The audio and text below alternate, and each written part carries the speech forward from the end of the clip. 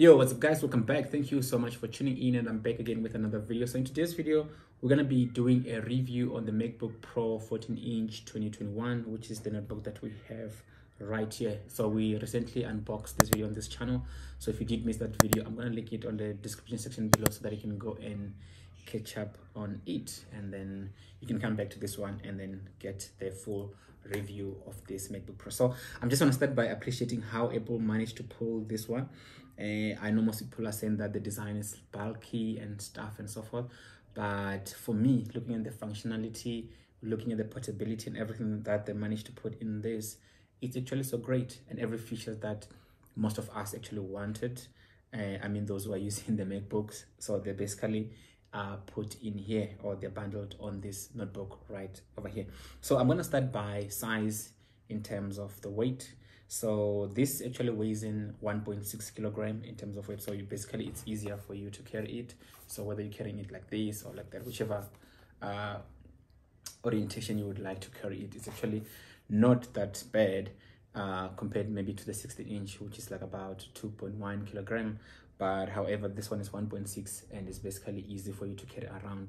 I know sometimes the design may actually uh, you look at it and believe that it's gonna be like more heavier but it's not as heavy as it looks because you would think that this is actually uh, a metal or aluminium which means that it's gonna be heavier but it's really not that heavy. So in terms of the size uh, it's actually okay. I'm, I'm, I'm carrying this easy even together with the charger. When you put it on the backpack you just slide in. Simple. It's easy to carry around with your hands. So it's basically more like a tablet size or an ipad size which which means it should be way easier for you to work in more spaces that you will be exposed to. Yeah so when we come into uh the the estate the screen estate basically obviously yes the screen is a 14 inch display which is a mini led which is very very bright and it's actually looking very good. When you're actually editing your content you get it you get to see the true colors of what you're actually editing. And the other thing that i like is the playback. When i'm doing playback when i'm on my timeline basically the response is actually like real time. It's not something that I actually had on my um my 15 inch which uh when i'm especially when i'm doing 4k sometimes it gets to lag. So i see this one is actually uh transitioning smoothly between the footages which is something that I really, really, really appreciate about the performance of this machine. And going back to the display, like I said, it's a mini LED. It's actually brighter. You get to see the true colors of the content that you're actually editing and actually are able to make like great decision when it comes to color correction and color balancing and and and so forth. Yes, it does come with a notch, which I know for some people they think or believe that it's actually like a distraction and altogether, but you still have like a full screen uh, um, available for you to use. You can basically hide your uh your your your menu up there on top so that it doesn't become visible or the notch is not actually in your way. And i like the fact that they actually shrink the bezel so much uh, to actually give you more room in terms of the display. So you got a lot of room on the screen. So this is not just a cover but however the screen is actually making use of the whole cover uh, whereby you get to see and make use of everything that's on the display uh yep the dock is still in there. This macbook is running uh mac os monterey. I just recently updated it this morning and which is actually still transitioning very very great. So i actually like the new display that they have put in on this uh, 14 inch. We didn't have 14 inch previously but if i were to compare this with a macbook 13 inch this is actually obviously comes in ahead. So another thing that i actually like while we're still looking at the display or on the screen side is the webcam. So this at least now it comes with a 1080 uh, webcam which is actually greater or much improved than the 720p that they had on the previous model. Actually like and again to appreciate that uh, especially nowadays where most of us are getting to work from home. So the 1080p came in handy and the microphone i think it's actually much greater. I'm gonna do a test of that and then you guys gonna tell me how it looks and actually sound in terms of the microphone quality which is good. So that um, webcam which is in here yes of course it doesn't have a facial recognition facial recognition or face id as we call it from the apple ecosystem. So it's actually just a webcam which records videos and can use it for your team's meeting for zoom as well as for facetime and other video related content that may need you to use a, um, a webcam. So that's actually it with regards to the screen. And and then if we come into the ports we actually have a lot of ports which are available now which we didn't have on the previous models. I'm talking about uh, 2018 going back to 2016 15 somewhere there where we didn't actually get like a full-size usb and full-size hdmi port so now on this machine we actually have some of those ports back uh, I've just spoke about this or when we're doing the unboxing and our first impression. So I'm gonna touch a little bit and touch on the benefit of having this port so starting this side here we actually have in the MagSafe. This is basically where we're actually charging. So when we use the MagSafe we're basically referring to this uh, cable right in over here. So this is actually the charger which we'll I might as well talk about it. So this is a 67 watt which is a bit less from a bit less than what you get on the um i'm, I'm gonna compare it with my 15 inch macbook which is 87 watt. So this is basically the MagSafe. So basically when you actually plug in it's just for me to demonstrate for you. So when you plug it in it's basically pulls it in and you actually feel that it's actually holding. It's actually uh, very very steady. So but when you actually pull it in you will feel the resistance but however it will actually allow you to pull it out. It's a bit harder but that's the that's that's basically the idea that when you uh, you remove it it must be resistive so that you get to know whether you're pulling it or not. So but I actually like the fact that you won't actually get to trip it because basically if you were to trip it it will basically just go out like that.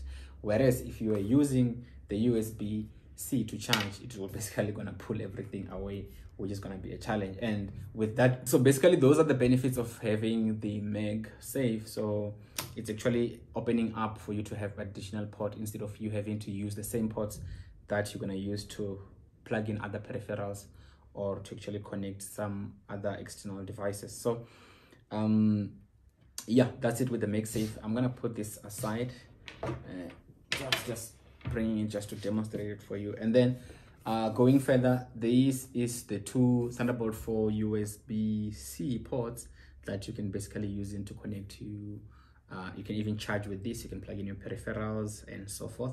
You can actually uh, connect your monitor as well using this to any of these two ports. And then you also have in an audio 3.5 mm jack for audio which is very great oh, another thing that i would like to talk about is the ports that are on this side so this side we actually have in a full-size hdmi it's actually hdmi 2.0 which is um, you would actually like it to have hdmi 2.1 but however this is good it supports 4k you can basically have like a full 4k um scaled up connected to your display and then you've got another thunderbolt 4 here your full uh, SD card slot for you to basically put in your memory cards and stuff to dump your footage and so forth, which actually comes in great. I know most people actually wanted this to have a full size USB um, A, which doesn't have, but however, you have three already USB-Cs, which can actually have one dongle that you can just connect those peripherals that still supports USB A, which is really, really not that bad. And then you can actually make use of the rest of the ports to connect other USB-C uh, peripherals or displays and whatsoever. But now that you have HDMI, it actually takes off the load from you having to do that. And another thing that I would like to appreciate is actually the speaker sound. The quality of the speakers are actually great. I would like to say that they're even greater than the MacBook that I'm currently using. So I actually like them. Um, so let's actually do a quick sound check uh, for you to hear. I don't know if my microphone will be doing justice when it comes into this uh, but let's try so i'm to try to find quickly find a non-copyright music and then we'll get to play it. So the first step that comes in here i'm just going to play it. And then i'm just waiting for the ad to pass because i didn't sign in with my account here. So there's an ad that's playing once the ad is done.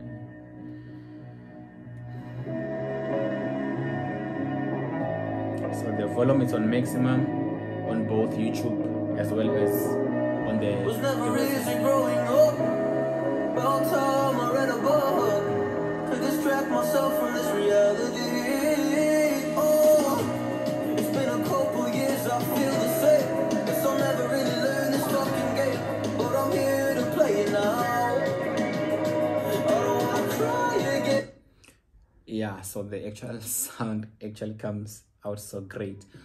what i actually like is you don't actually get to hear that the sound is coming from this side or this side.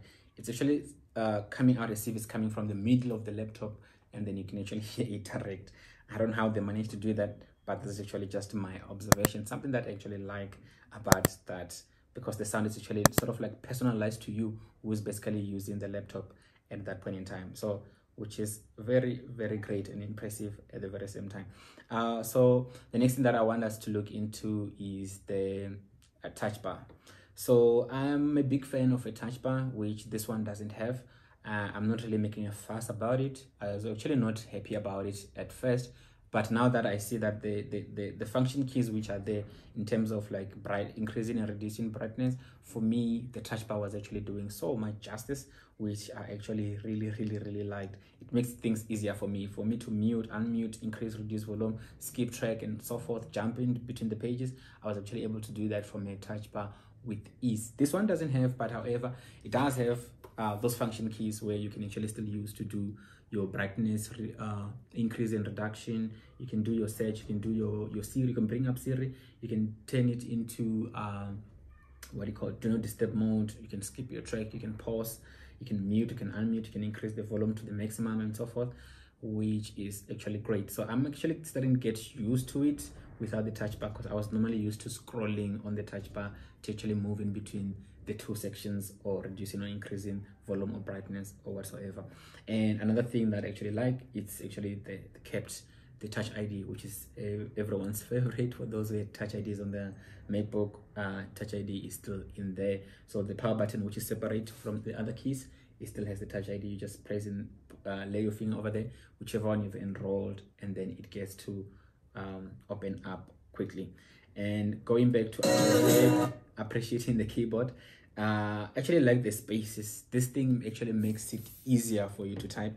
Uh, i'm not really a big fan of um small notebooks. I don't know why but i feel like it it's actually increasing the size of me making mistakes but this one is actually proven me wrong. So i think today is day three uh, actually day four since I, I, I, I, I have this MacBook with me and I've been trying to use it to sort of like get to use, uh, get used to it in terms of how it works without having to compare. But of course, I'm used to the other MacBook, which is touch bar and a bigger keyboard and a bigger trackpad, which this one doesn't have. But so far i haven't had any issues in terms of the response performance it's actually much better than the one that i have i didn't do side to side comparison in terms of that but just by me observing uh, this is actually performing way faster than the one that I have. I believe that the M1 Pro chip that this one is running, it's actually doing much justice in terms of the uh, navigating between the application and so forth. So internal specification, I'm gonna start again with the uh, with the chip. So this one is running uh, M1 Pro, not the Max, and this one comes in with the uh, 8 core uh, CPU and then uh, and then 14 core GPU. Basically, that is for graphics, and then comes in with the 16 gig RAM and it's a 512 uh, SSD storage. And basically, I think you can get this even with uh, M1 Max as well as 8 terabyte storage and 64 gig if you want to spec it up to that level, which in South Africa they don't actually sell those, but if you want to buy it like on the Apple Store, you're actually looking at about uh, $5,900, uh, somewhere around there if you are buying a full spec 14 inch MacBook. But the one that I have in particular, when it comes into rands, this one is costing uh, 37,200 Rand to be in to be to be specific so that has been my, sorry i don't know why i keep on uh, unmuting this music so that has been my experience with this macbook uh, i've done so much to actually be in a position where I can recommend it to someone as their daily driver. So I'm not gonna say that I will switch on through this one. I'm still gonna go ahead and explore this. And I think I'm gonna do just a little bit like a quick overview comparison between this and the MacBook Pro, the one that I have, the 15 inch MacBook Pro that I have with this one. I'm not gonna go into performance. I'm just gonna go through the look and feel and the design and stuff without having to go into the details. So thank you so much for tuning in. And this has been my review of the MacBook Pro 14 inch 2021 and I will see you guys on my next video. Bye.